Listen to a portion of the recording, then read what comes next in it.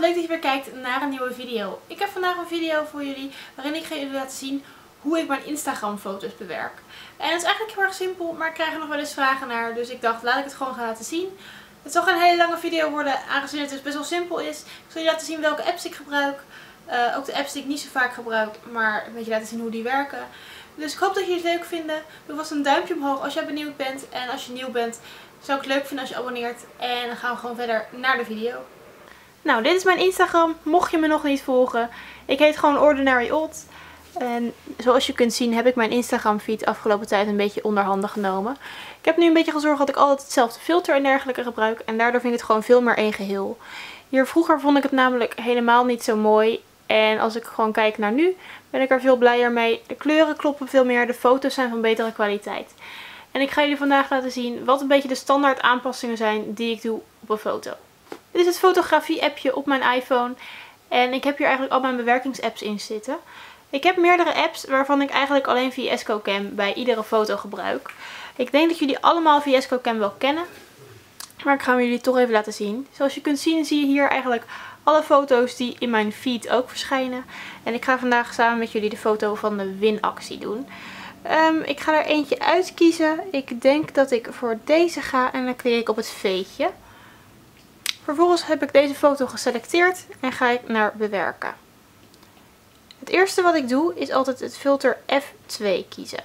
F2 is het filter wat ik voor al mijn foto's gebruik. Dan ga ik omhoog en dan ga ik hier zo naartoe.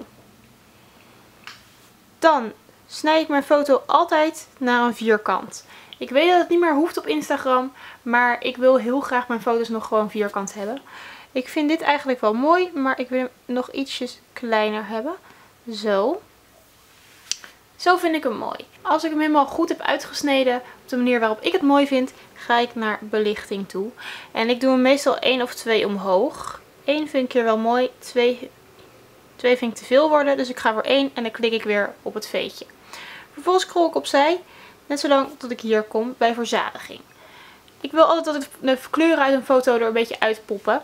Dus daarom doe ik voor verzadiging altijd iets omhoog. Ik ga hier ook weer voor één keertje omhoog.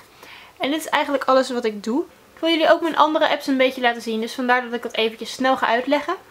Als eerste heb ik hier de app Insta Shapes. Als eerste gaan we een foto kiezen. En ik ga hier gewoon dezelfde foto uit mijn camerarol zoeken. Dat deze. En vervolgens kan je hier dus overheen bijvoorbeeld love doen. Dit heb ik wel eens gedaan bij andere foto's. Dit kun je vervolgens ook weer zachter maken.